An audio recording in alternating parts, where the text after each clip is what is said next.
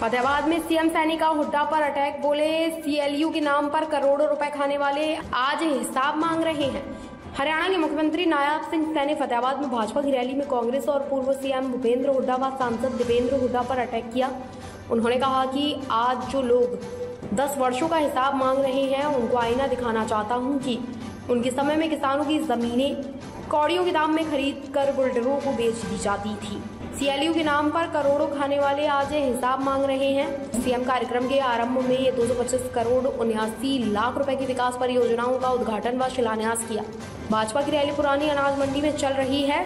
इससे पहले हेलीपैड पर भाजपा नेता अशोक तंवर ने बुके देकर उनका स्वागत किया। सीएम के साथ भाजपा के प्रदेश अध्यक्ष मोहनलाल बड़ौली भी हैं।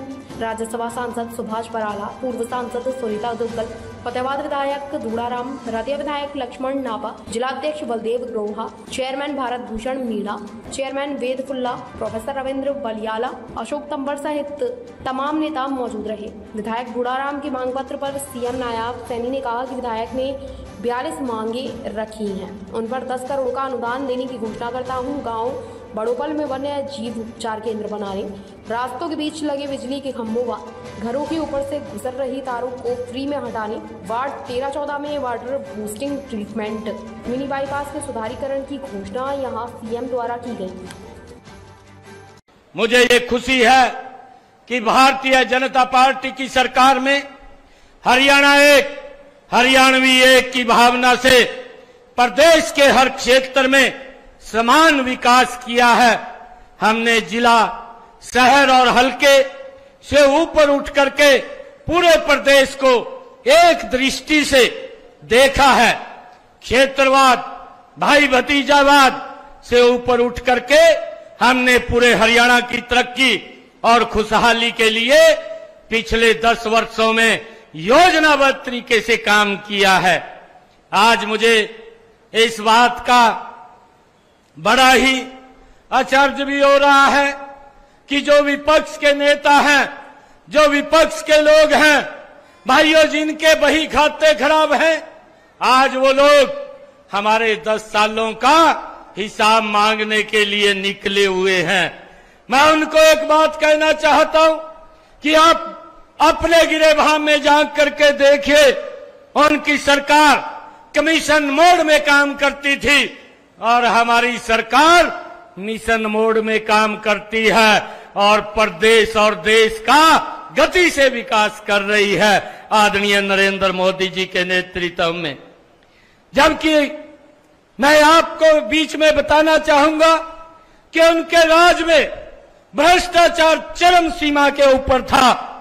जिनके पास सिफारिश होती थी या सूखदार लोगों की जेब गर्म करने के लिए पैसे होते थे। उन्हें ही सरकारी नौकरी उनके कार्यकाल में मिलती थी। इस बात के बारे में भी हम सबको जानकारी है। हमने प्रदेश में सबसे बड़ा पहला काम व्यवस्था परिवर्तन का किया है। हमने ऐसे बिचौलियों की दुकानें बंद करवा दी हैं जो सरकारी नौकरी दिलवाने में या लोगों के सरकारी कामकाज करवाने में भाइयों दलाली करते थे, ऐसे लोगों को हमने पिछले दस वर्षों में बाहर का रास्ता दिखाने का काम किया है।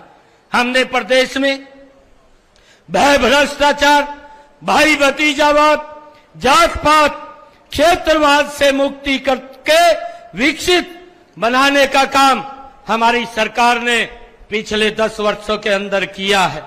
मुझे ये, आज जो लोग ये दस वर्षों का हिसाब मांग रहे हैं, मैं आज उन लोगों को एक आईना भी दिखाना चाहता हूँ कि आपके कार्यकाल में, आपके समय में क्या क्या कार्य होते थे।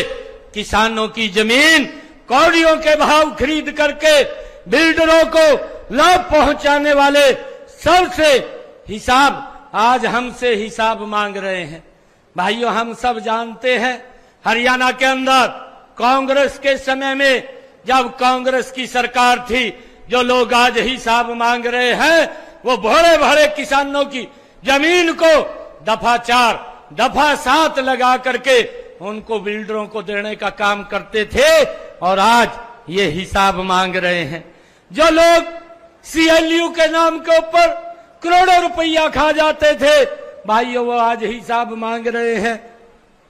जो लोग जात पात क्षेत्रवाद भाई भतीजावाद की राजनीति करते थे, आज वो हमसे हिसाब मांग रहे हैं। उनके काले कारनामों से प्रदेश का बच्चा बच्चा भाइयों, परिचित है। हमारे कार्यकाल में का हिसाब तो युवा देता है। आज हरियाणा प्रदेश का युवा हमारे कार्यकाल का हिसाब दे रहा है।